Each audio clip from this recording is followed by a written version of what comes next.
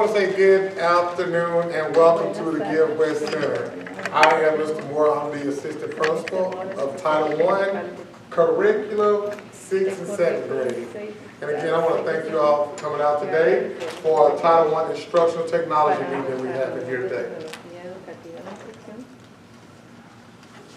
What is Title I and what is the plan and the promise?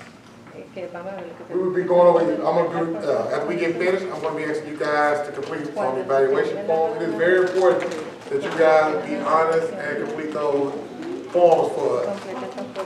I'm gonna talk about the instructional technology programs we have here. That'll be Mrs. Johnson, who's standing behind you recording. We will go over, she was discuss the parent portal, assessment, and our E-class. Parent portal, Parent Square, My Payment Plus, resources that the Give Center offers, such as IXL, Edmentum, Delta Math, iReady, and Achieve 3000. And then I'll be giving the closing remarks. Again, welcome. The Give West I mean, the Give West, the Give Center West Instructional Technology Meeting will provide participants with information on a wide range of innovative technologies for improving the learning environment. para mejorar el entorno de aprendizaje. We, we here at Give West um, are equipped with resources to help engage, enrich, and challenge our students during the learning process. Students have access to Chromebooks, interactive whiteboards, online subscriptions, and a wide variety of instructional technology. Title I program. The Title I program is the largest federal assistance program for schools. It provides support to students who are at risk of not meeting the state academic standards. It determines, the, uh, the fund is determined by the number of students receiving free or reduced lunch. That's why it's so important when you guys enroll your, your students at school, that you complete that free or reduced lunch form. Because it, it, can- it can hurt in two ways. If you don't fill it out, your child will eventually end up paying for lunch and breakfast. Also, it hurts the school because the money that the, the school can make off your, that one particular child, that's money that, that, uh, that can sponsor a Chromebook. And a teacher. These, um, resources that we have, like I talked about before, Excel, Edmentum. For example, this year I paid twenty-seven thousand dollars for an online program that we work with our children who are not here in the school, who, um, want to do online learning. That's twenty-seven thousand. Even for our students who have failed the course, with a fifth year above, we can put them on this Edmentum program, get them caught up real fast, and put them back on track for graduation. So that's why it's very important we complete those forms. Title I support parents and families by offering activities and training opportunities to increase engagement in their children's education. There are two types of um, Title I programs. Targeted assistance. No schools in GCPS participate in the Target Assistance Program. School-wide, we have a total of seventy-eight schools in Gwinnett County that are, uh, that falls under Title I. Uh, for example, North Gwinnett is not a Title I school. Brookwood is not a Title I school. Um, I think Dacula, those schools over there are not Title I schools because they, they, they, um, numbers are very, very low when it comes to free and reduced lunch. Uh, GCPS received Title I funds from the United States Department of Education via the Georgia Department of Education to provide additional resources to assist with the education of our children. School-wide programs. All the students at the school benefit from Title I funds. Materials, equipment, technology, professional development, extended learning time. What I just talked about for how students get caught up. It, uh, salaries of some teachers and the parent center are some of the possible items funded through Title I. When it talks about the resources, for example, um, uh, um, I can't get, it, um, the salaries of some teachers. Let's hypothetically say the school, um, the Georgia Department of Education give teacher points based off the students enrolled at school. So in their mind, they have a mind, they have an idea that, let- let's say ten kids per teacher class. But, so they gonna, if you have a hundred te, hundred students, they're only gonna go allot you for ten teachers. But everything is a year in arrear, meaning that they look at the student that was there last year. So let's say that you get more students that come over the summer. Now, the, the, the state is determined and banking on hundred students showing up. But you got hundred and fifty now. But you only got allotted for ten teachers. We take that Title I money and pay for teachers out of that Title I money so we can have enough teachers to cover our students. So that's what it's talking about when they say it's salary of some teachers. Our plan. A copy of the plan promise can be found on the school website, Parent Square, and in the Parent Center. Um, I will hope that everyone in here had opportunity to look at our school website and review the material that's, that's listed. Uh, describe how our students will provide opportunities to improve family engagement that will support student learning at school and at home. Our promise. It is written in agreement that outlines how the school, the students, and family will work together to ensure your child's academic success. All right, the- on the, this is the evaluation form. After this meeting, I want you to take a minute or two to complete the evaluation form. Your input is very valuable to us. We want to give our students the best possible learning experience we can do, and we can't do it without you guys. We need your thoughts and feedback on how we are doing. What can we do to make it better? And any ideas can help that make our school, not center, but our school, the best we can be. That is it for me. Ms. Johnson's about to come up and do her part. Please, ask questions. Uh, Help yourself to some snacks. I know we had some people just come in, um, that's a little bit later after we started. Um, feel free to stay behind. I don't mind going back over again. You know, Ms. Johnson.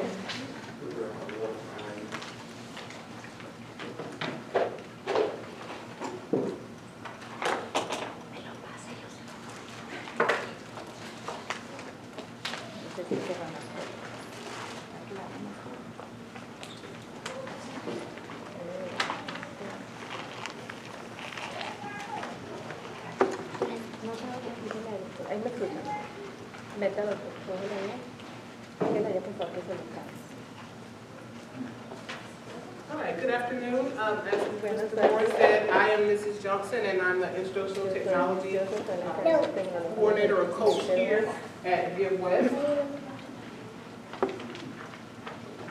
Okay, I'll be going over some of the main portals and main platforms that your students will be using technology-wise here at West. Our first uh, platform is going to be the Parent View. Most of you should be familiar with that. That is formerly the Parent Portal. Okay. So now we have the parent view, and this is where you'll find all the parent resources in one single place, okay? You will create your parent view account, if you haven't done so, I can assist with that today. And the, um, online registration to register your students. If you've already done that, you have access to parent view. Okay. The parent view gives you access to your students' uh, schedules, their grades, attendance, their assignments, any behavior, um, reports, assessments, and communication with your teachers. It also gives you a direct line to the classroom, and you can access this twenty-four seven. Okay. So you can go there any time of day or night and access any of this information on the parent view. Okay. And it also provides real-time information, anywhere access, and in-portal translation.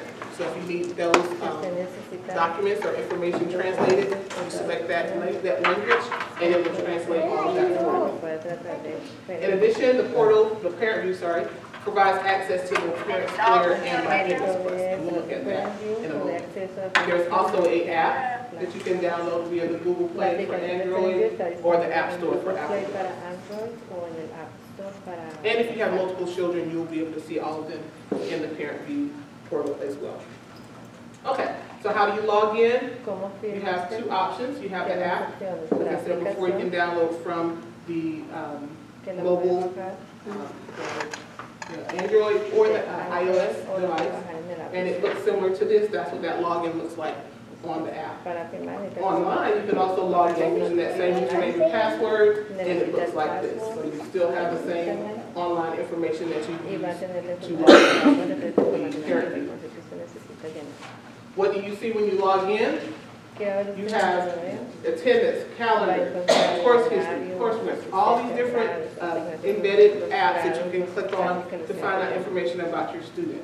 This is what it looks like online, Sobre tu estudiante. and then this is what it looks like via the app. Okay, so you have access to that same information. Descarga la aplicación um, via both platforms. Now, we also have Parent Square, so we got Parent View, and then we have Parent Square. Parent Square. Square is um, our platform to, to provide um, a way for the district, principals, teachers, staff, parents, Ms. Garcia sends out messages via Parent Square, I do as well, for, for administration. And uh, we send that out so you can receive um, and send information, you can actually communicate back and forth También with se puede parents, comunicar especially with your con la teachers. información que se le va a Okay. The main thing that's changed this year with Parent Square is, um, Mr. Moore talked about the plan and the promise. They've actually uploaded it here. So if you have Parent Square, you should be receiving notices. I've been sending out reminders. This is where you go to sign your back to school donde usted va a agreements. Okay. Back in the day, it used to be by hand in the handbook, se Sign it, then we went to My manual, Parents Plus, ahorita usted lo and now we have it via the Parent Square. So this is what that notice looks like, and you just scroll through, and you'll be able to sign the documents for back to school. And the plan, and the promise is included in that as well. Yes.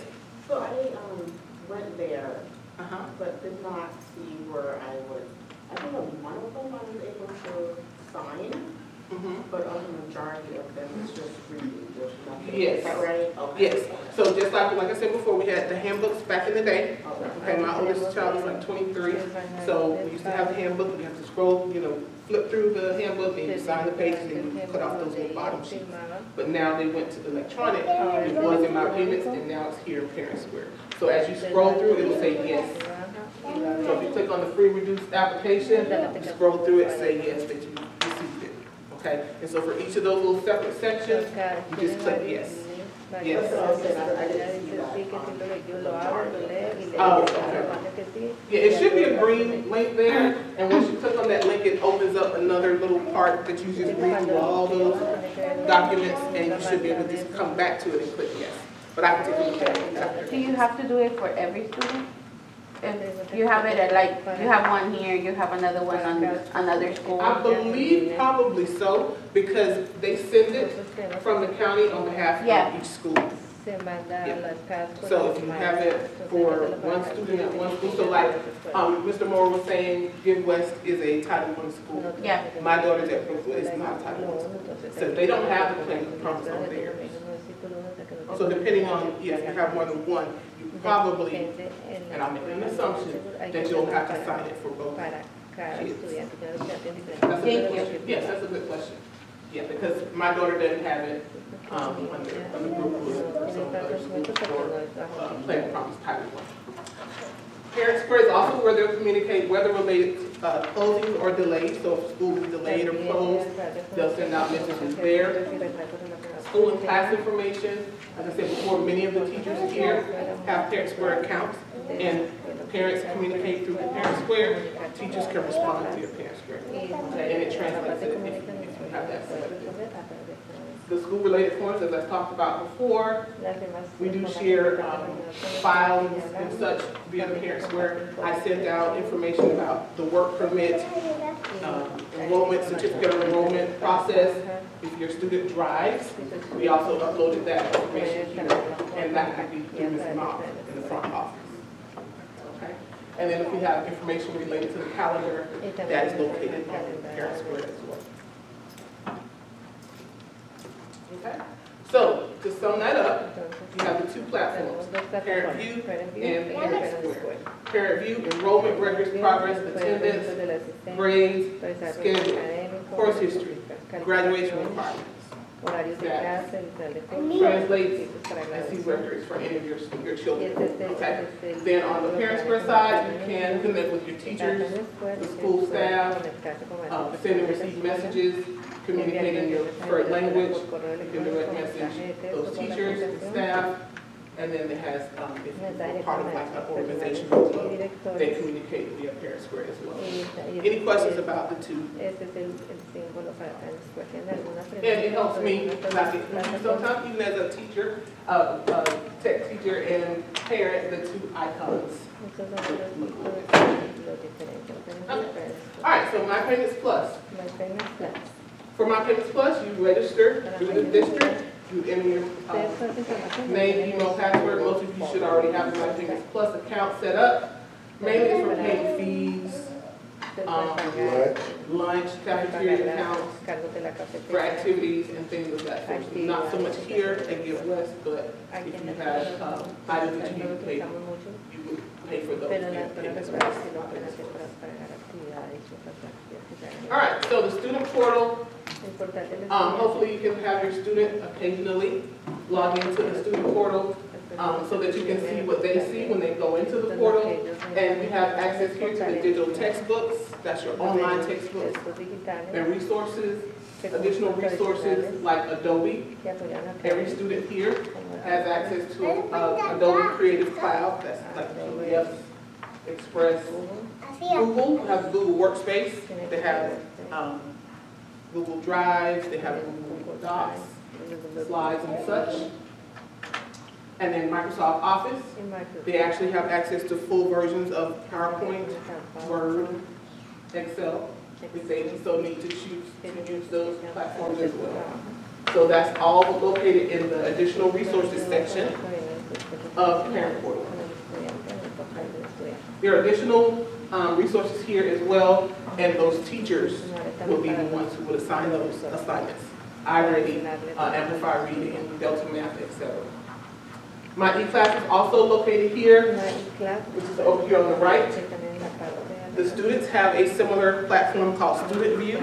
They have an app for that, just like the parents, you all have a parent, look similar with the little multicolored circle.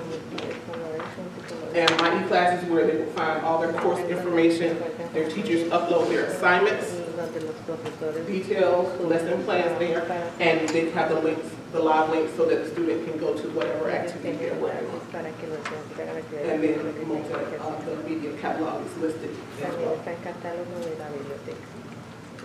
All right, so this is what the students see when they log into their e-class pages. Hopefully you've seen these before as well. Um, they, they're, the list of their teachers are located from the little drop down, we call the waffle. If you click on the waffle up there at the top, and it drops down to show all of their current classes. If there's ever issue with that, if you call the main office, they'll likely transfer you to, uh, transfer you to me, and I can get you into those classes if for some reason you don't see a class that your student should be in. All right, as I stated before, students have student view, parents have parent view. For student view, the students can see very similar information on their end. Main thing is that they can see messages from their teachers, the calendar is there, their attendance, their class schedule is there, course histories, course requests, if they have any fees, they can see the grade book, MTSS, that's for um, behavior PBIS points, and then info. Um, The Chromebook AUP is something that they'll need to sign off on, but that uh, platform is not working right now, but I will notify teachers when it's back up so that they can sign off on that. And then any documents be listed there. Our online programs that we have here, have Delta Math. This is where they can practice and get feedback on um, math assignments. iReady provides lessons and games in math and language arts, and they motivate students and support learning. Achieve 3000 is for students um, focusing on math and language arts. Google Workspace for Education, as I stated before, they have a Google Drive where they can store their documents. And they also have a Gmail account. They, they can only communicate teacher to student, no outside. Microsoft Office 365, as I stated before, they have full access to the versions of Word, uh, uh, PowerPoint, Excel, um, notes in there, and um, Outlook. And then for Adobe Creative Cloud, like I said before, they can use that to create like um, flyers and things of that sort. So those are all full versions of those. All right, IXL focuses on language arts, math, and science. And this allows students to practice topics related to those three subjects at their own pace. So it's kind of like a um, tutorial, Es como tu work, working their way through it, and if they need help, it goes back and re-enriches them on those specific topics. So if they need help in, say, algebra, then they can do the lessons. If they're struggling with the concept based on their responses, then it'll assist them in getting the correct answer and how to solve it. Lo que tiene que hacer. And Mentum is another platform that we use here at Give West. This helps students reach graduation goals, so if they fall a little behind, we're here to help them satisfy those uh, graduation requirements beyond um, their current status. And it provides flexible and personalized lessons, um, credit recovery, and expanded course access. And this provides course recovery for those students um, that need it. And helps them relearn topics that may, they have, they may have struggled with before. Any questions? I I said a lot, but we will post all this uh, information. It's also on the the website. If you click in the technology section, you'll be able to see those items. But as I said before, in the portal, the teachers will assign those assignments based on those portal um, accesses for whichever platform that your student is using.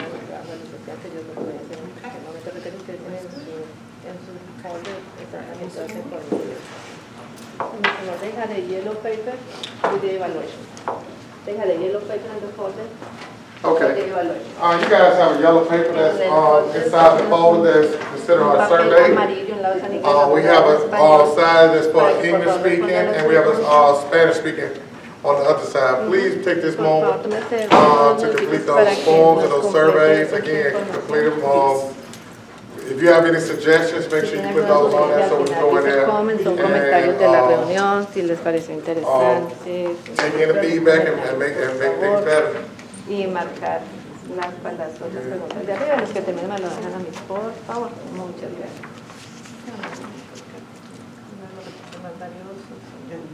Un comentario largo.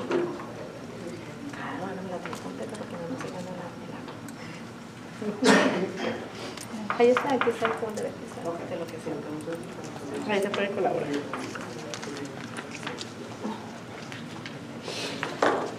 Ok, si se pueden quitar por favor el aparatico, lo pueden apagar ya.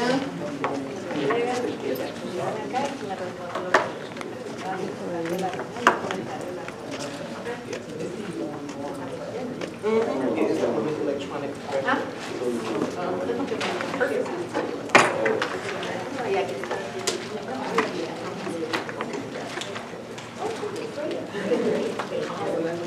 that one is electronic.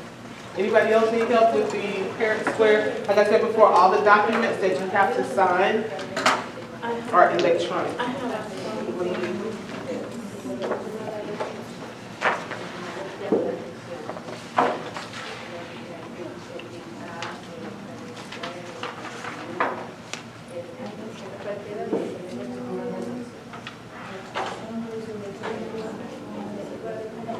And if anybody wanna be, uh, again, if you have any issues, uh, trying to log into My Parents Plus, Parent View, Square, please, Ms. Johnson, uh, is here to assist. We, even if we have to grab a cell, phone, if you have your cell phone, or you wanna do it on the Chromebook, we can get you all that computer back here. We can Ustedes get you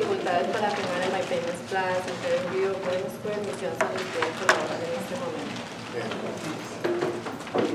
But again, I want to thank everybody for coming out today.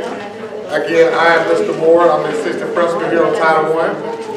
Um, if you have children that's here in the sixth and seventh grade, I'm pretty sure they're gonna come talk about me as well. I'm over there at grade level. But again, if you have any questions, sir, feel free to come and see me at any time. Thanks for all that you do, and have a great day.